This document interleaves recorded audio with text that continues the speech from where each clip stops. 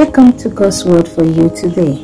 Matthew chapter 10, verse 14 to 16. But when Jesus saw what was happening, he was very much displeased with his disciples and said to them, Let the children come to me, for the kingdom of God belongs to such as they.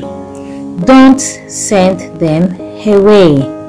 Allow the children to come to Jesus.